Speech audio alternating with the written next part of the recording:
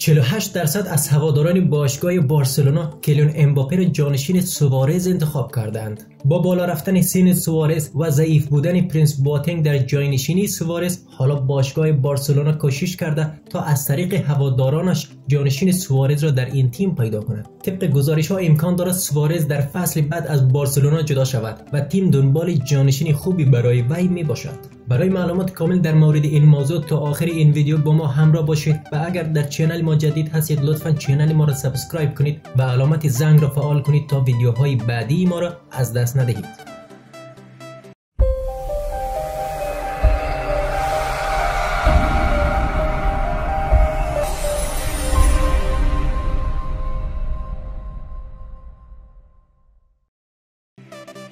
به نقل از میرر نشریه کاتالونی موندو دپورتیوو در یک نظرسنجی از هواداران بارسلونا خواست تا مهاجمی که قصد دارند او را در پیراهن بارسلونا ببینند انتخاب کنند. در این نظرسنجی نام 20 بازیکن شماره 9 دنیا قرار داده شده بود تا هواداران گزینه مورد نظر را انتخاب کنند. این لیست شامل گزینه های خوب از جمله هری کین از تاتینهام، رابرت لواندوفسکی از بایرن مونیخ، آنتوان گریزمن از اتلتیکو مادرید و البته نیمار از پارسیان جرمن بوده. اما برنده قاطع نظرسنجی کلیان امباپه مهاجم 20 ساله پارسیان جرمن بود که توانست نظر 48 درصد از 46502 شرکت کننده را جلب کند. ستاره فرانسوی اگرچه تنها 20 سال دارد اما نقش کلیدی در قهرمانی فرانسه در جام جهانی 2018 ایفا کرد و در این فصل از رقابت‌های لیگ یک تنها در 19 مسابقه موفق شده 20 گل به ثمر برساند. امباپه با گلزنی در پیروزی دو بر صفر PSG در مقابل منچستر یونایتد نقش مهمی در پیروزی شاگردان توخل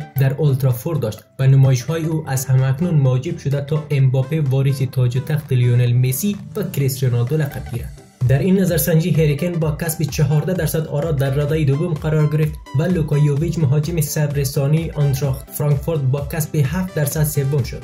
به نظر می رسد هواداران بارسلونا تمایلی چندانی به بازگشت نیمار ندارند چرا که او همانند مکسی گومز از سلتا تنها 4 درصد آرا را از آن خود کردند. روبرتو فرمینو از لیورپول و مایرو ایکاردی از اینتر نیز هر یک 3 درصد رای آوردند. آنتوان گریزمن نیز که در تابستان به پیشنهاد بارسلونا پاسخ منفی داده بود تنها 2 درصد رای آورد.